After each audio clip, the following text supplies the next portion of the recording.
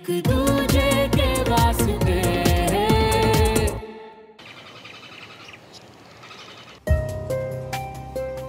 बुखार अभी ज़्यादा है। मैं एक काम करता हूँ कुछ दवाइयाँ लिख देता हूँ। अगर कल तक इसका बुखार नहीं उतरा तो फिर इसका ब्लड टेस्ट कराना पड़ेगा। डॉक्टर साहब कोई घबराने की बात तो नहीं है ना? नहीं चिंता की कोई बात नहीं है। इस उम्र में बच्चों को ये सब चीज़ें लगी रहती है। और वीर बेटा अब कैसा लग रहा है? अभी तो मुझे बहुत नींद आ रही है। पर मम्मा अभी मुझे नहीं सोना। मुझे अभी खेलना है। आप श्रवण भैया को बुला दो ना मम्मा। हाँ बेटा अगर आप अभी खेलोगे तो आप और बीमार हो जाओगे ना? पहले आप ठीक हो जाओ फिर हम सब खूब खेलेंगे। और श्रवण भैया? हाँ उनको भी बुला लेंगे। लेकिन अभी आप गुड बॉय की तरह रेस्ट करो। हुँ? मैं डॉक्टर अंकल को बाहर छोड़ के आती हूँ। ये दवाइयाँ हैं ये दे दीजिएगा। ओके बेटा टेक केयर तुम दोस्त हो मेरे पर। अभी जो बात मैं करने वाला हूँ ना वो जरा काम किया तो प्रोफेशनली करते हैं। श्योर अब तुम तो जानते ही हो कि अगर कोई भी केस कोर्ट में गया तो चाहते ना चाहते कितना वक्त लगेगा ये कोई कह नहीं सकता। Right right. सात साल लग गए हमारे इस केस का फैसला आने में। अब अगर सुमन फिर से हाई कोर्ट गई ना तो पता नहीं और कितने साल मुझे कोर्ट के चक्कर काटने पड़ेंगे यार। तो बस एज ए फ्रेंड तुमसे रिक्वेस्ट थी कि अगर तुम सुमन को समझा सको तो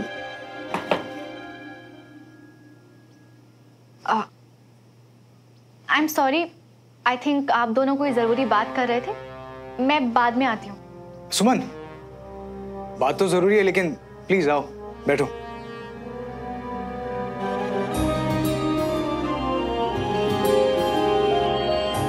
कॉफ़ी नो थैंक्स वैसे अच्छा हुआ तुम्हें। श्रवण की रिक्वेस्ट है कि सुमन तुम ये केस हाई कोर्ट तक ना लेके जाओ। और क्या जवाब दिया तुमने इस रिक्वेस्ट का? क्या डिसाइड किया? अब सी एज अ लॉयर ये मेरा डिसीज़न नहीं है।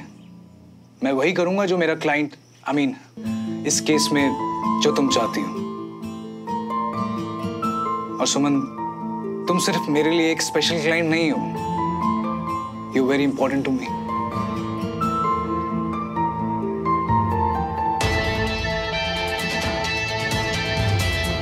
thank you Vikram captain Malhotra I know कि आप लॉयर नहीं हैं इसलिए इस सिचुएशन में आपके लिए कोई कोड ऑफ़ कंडक्ट नहीं। पर ऐसे सामने वाले लॉयर को दोस्ती के नाम पे फुसलाना ठीक लगता है आपको? सुमन मैं आई नो विक्रम तुम कभी अनएथिकल तरीके से काम नहीं करोगे। पर कैप्टन मल्होत्रा इस तरीके से एक केस ऑलरेडी जीत चुके हैं। इसलिए उन्हें लगता है कि शायद ये तरीका हर बार काम करेगा। एज एन ऑफिसर आपको ये अनएथिकल नहीं लगता? मैं अपने दोस्त के पास आया। एक दोस्त की हैसियत से सिर्फ़ और सिर्फ़ रिक्वेस्ट करने। किसी को बहलाने फुसलाने या गुमराह करने की ज़रूरत मुझे नहीं है। पर मैं एक क्लाइंट की हैसियत से अपने लॉयर से बात करने। उन्हें ये बताने कि चाहे कुछ भी हो जाए, ये केस तो हाईकोर्ट तक जाकर ही रहेगा।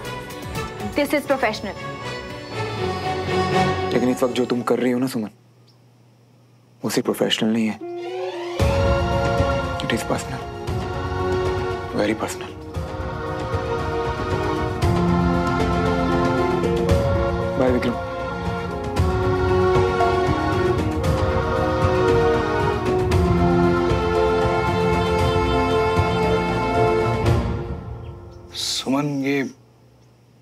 ये सब कुछ जो कुछ भी हुआ मुझे समझ नहीं आया।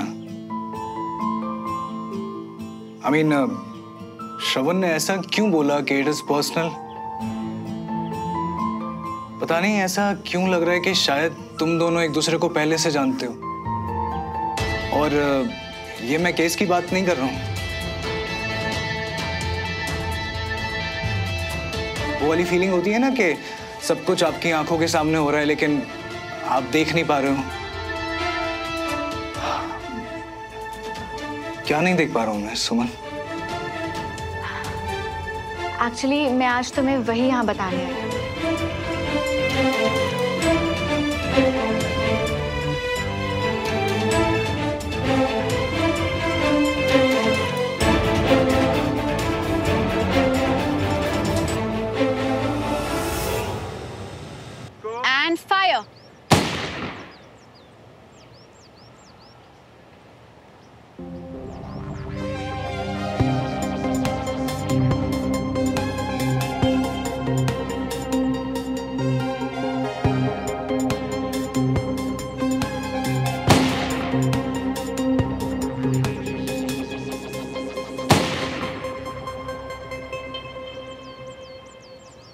कैप्टन मल्होत्रा आई नो कि आपने अपने हाथ को पूरा रेस्ट दिया था और आपका वुंड भी ऑलमोस्ट हील हो चुका है पर आपके कंधे के अलाइनमेंट में अभी थोड़ी प्रॉब्लम है। कैप्टन तिवारी मैंने अपनी तरफ़ से पूरी कोशिश की पर पता नहीं क्या कमी रह गई जो जो एक भी निशाना सही नहीं लगा इसमें आपकी कोई कमी नहीं है। जब दिल और दिमाग के बीच में बैलेंस सही रहेगा तो मसल्स अपने आप इंस्ट्रक्शंस मानेंगी। मैं दिखाती हूँ। प्लीज़ रिलैक्स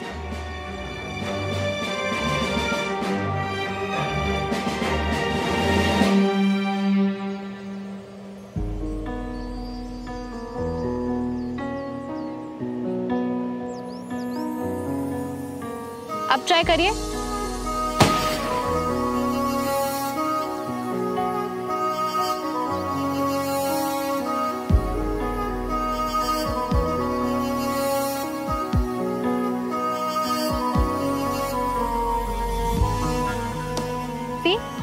आप में कोई कमी नहीं। है बस थोड़ा रिलैक्स करने की ज़रूरत। है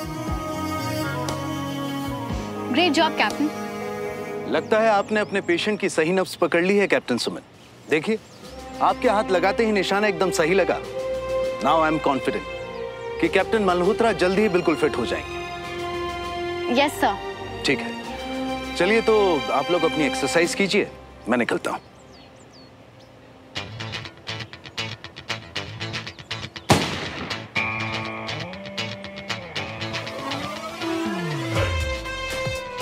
इतनी एक्टिंग करके थकती नहीं क्या तुम?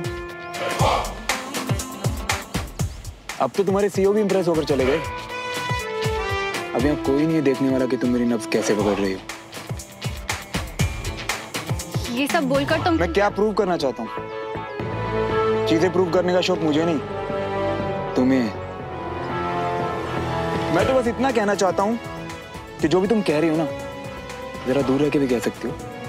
God captain. Please grow up और अपनी डॉक्टर को शांति से उनका काम करने दीजिए। फायर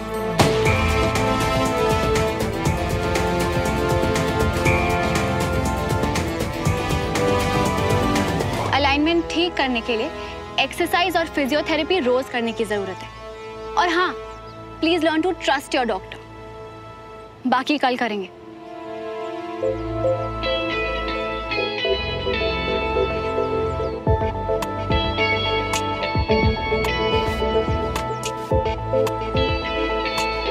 कैप्टन तिवारी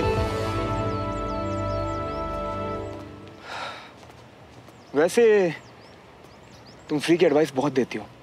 नहीं? What learn to trust your doctor advice तो बहुत अच्छी है पर जब डॉक्टर तुम हो तो वैसे अभी तक विक्रम को सब कुछ सच सच बता दिया होगा। नहीं? ताकि उसका तुम पे ट्रस्ट ना टूटे। राइट हाँ बता दिया। तो? तो क्या? क्या सुनना चाहते हो श्रवण? साफ़ साफ़ बोलो ना। अब वो सब डिटेल्स तो तुम ही बताओगी ना कि क्या क्या हुआ। उस बेचारे भले आदमी का तो दिल ही टूट गया होगा राइट तुम्हें पता है श्रवण कि तुम में और विक्रम में फ़र्क क्या है? तुम इस गलत फहमी में जीते हो कि इस पूरी दुनिया में सब लोग तुम्हारे जैसे इमेच्योर हैं। पर थैंक गॉड कि विक्रम जैसे लोग भी हैं, जो समझते हैं कि बचपने में हुए हफ़्ते दो हफ़्ते की अट्रैक्शन को लोग प्यार समझने की बेवकूफ़ी नहीं करते। उस उम्र में गलती सबसे होती है। जब मैंने ये बात विक्रम को बताई ना तो बहुत ज़ोर से हंसा वो। बिल्कुल सही कह रही हो तुम। उस उम्र में वो बचपना तो सभी करते हैं। बेवकूफ़ी तो थी वो। लेकिन कुछ लोग उस बेवकूफ़ी से सीखते नहीं है। बल्कि बार बार उसे दोहराते हैं, है ना? वैसे अगर विक्रम इतना ही मैच्योर है तो उसका प्यार कितना गहरा होगा, नहीं? वाकई बहुत लकी हो तुम, सुमन। पर हम दोनों कुछ ज़्यादा कंपेयर नहीं करती। जैसे कि कभी सफ़ेद और काले रंग में तो कभी मैच्योर और इमेच्योर में।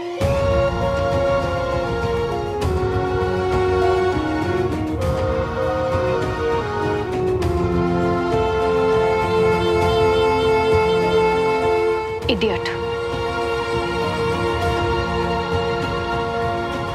भाभी जी मार्केट अच्छा नहीं चल रहा है अभी। बायरों की बहुत कमी है। पहले वाला जो आया था ना वो पलट कर ही वापस नहीं आया। और दूसरे वाले ने आपके पड़ोस का मकान खरीद लिया। किसका? ये हमारे पड़ोसी मल्होत्रा साहब का घर? बिक गया उनका घर? ना बिकी गया समझो। टुकर बनी मिल गई है और एक आध दिन में पोजीशन मिल जाएगा। वो क्या है ना बाहर की कमी है मार्केट में। देखिए गोयल साहब हमें तो आपका ही भरोसा है। अब आपको तो हमारी स्थिति पता ही है। हमारे घर की फाइनेंशियल स्थिति ठीक नहीं है। मुझे किसी भी हाल में ये घर बेचना ही है। अब आप ही बताइए कि क्या करें हम लोग? देखिए भाभी जी कुछ दिमाग में आया है। हम्म, आपका पड़ोसी कैप्टन साहब? कौन? श्रवण? हाँ देखिए भाभी जी अभी उनका मकान बिकी गया और कुछ दिन के लिए उन्हें भोपाल में रहने की आवश्यकता है। अब वो थोड़ा बहुत छोटा सा मकान ढूंढ रहे हैं भोपाल में। और भाभी जी, आपका मकान तो बहुत ही बड़ा है। मेरे हिसाब से सबके फ़ायदे की बात है। खास तौर पर आपके फ़ायदे की। अब आप रेंट के बारे में सोचिए और मैं जब तक बाहर को ढूंढता हूँ। निश्चित रहिए, आपका मकान दिखवा दूँगा, है ना? मैं चलता हूँ भाभी जी, है ना?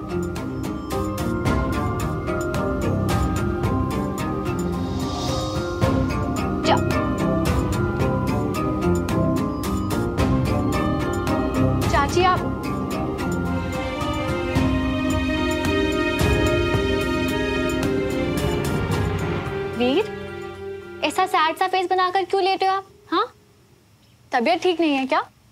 दीदू आप कहाँ चले गए थे? सॉरी वीर काम पे गई थी। अब जब ड्यूटी होती है तो बीच में छोड़ के तो नहीं आ सकते। पर आप मुझे तो छोड़ के चले गए ना? पता है मैं यहाँ कितना बोर हो गया था। ना ही मम्मा मुझे बाहर खेलने जाने दे रहे थे ना ही श्रवण भैया को यहाँ बुला रहे थे। वो पक्का खेलते मेरे साथ। वीर अब मैं आ गई हूँ ना मैं खेलूँगी आपके साथ हाँ? नहीं।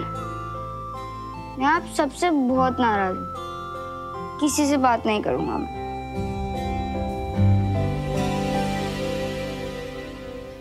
वीर आप तो गुड बॉय हो है ना? अगर आप ऐसे नाराज़ रहोगे तो ठीक कैसे होगे? पहले आप जल्दी से ठीक हो जाओ उसके बाद हम खूब खेलेंगे ओके? सच्ची? हम्म। मुझे श्रवण भैया के साथ भी खेलना उनके साथ भी खेल सकता हूँ?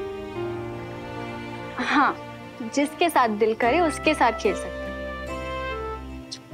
पर फ़िलहाल, आराम करो। ऑल राइट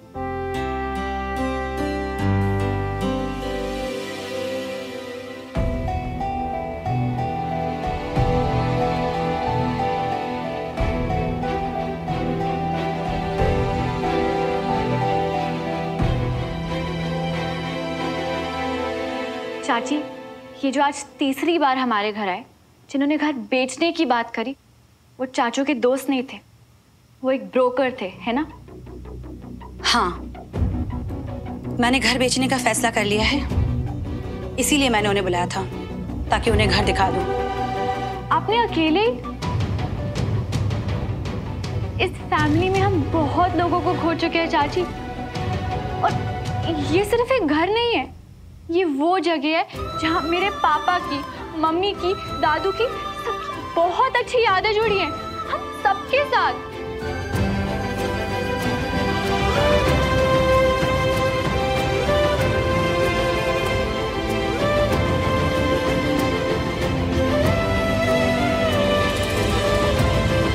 उन यादों के अलावा और बचा ही क्या है हमारे पास? अगर ये घर बिक गया ना चाची कुछ नहीं रह जाएगा हमारे पास। इसलिए डिसाइड ये हुआ था कि ये घर नहीं बिकेगा। किसने किया डिसाइड हाँ? सुमन देख तू अकेले अपनी मर्ज़ी से फैसले लेने को सबका डिसीज़न मत बोल। सुमन तू पुरानी यादों में इतना खोई हुई है कि तुझे आने वाली मुश्किलें दिखाई नहीं दे रही। चाची वीर अंदर सुमन। है प्लीज़ आराम से। ये फैसला मैंने अपने फ़ायदे के लिए नहीं लिया है। चाचू क्या आप चाची की बात पे अग्री करते हैं कि ये घर बिक जाना चाहिए?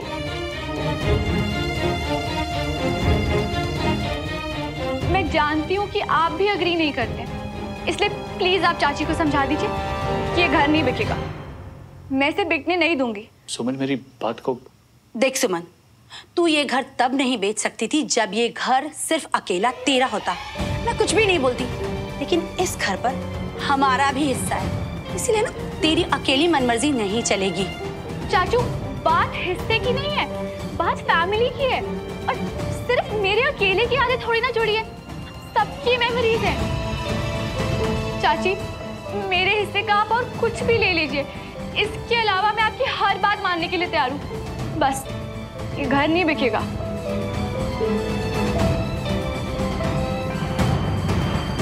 आपका पड़ोसी कैप्टन साहब, अभी उनका मकान बिकी गया और कुछ दिन के लिए उन्हें भोपाल में रहने की आवश्यकता है। अब आप रेंट के बारे में सोचिए और मैं जब तक बाहर को ढूंढता हूँ। मुझे भी अपने परिवार की पूरी चिंता है। लेकिन अब वीर, कंचन और सुमन के भविष्य के लिए जो बेहतर होगा, मैं वो ही करूँगी।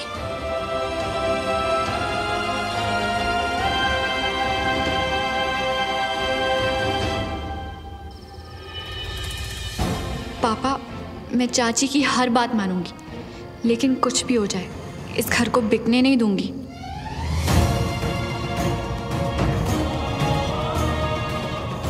सिर्फ़ आपकी यादें ही तो बची है मेरे पास। इस घर के साथ उन यादों को नहीं खो सकती मैं, पापा।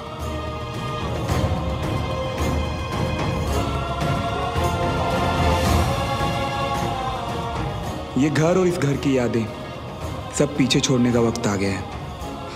मुझे बस कुछ दिन और यहाँ भोपाल में रहने का इंतज़ाम करना होगा।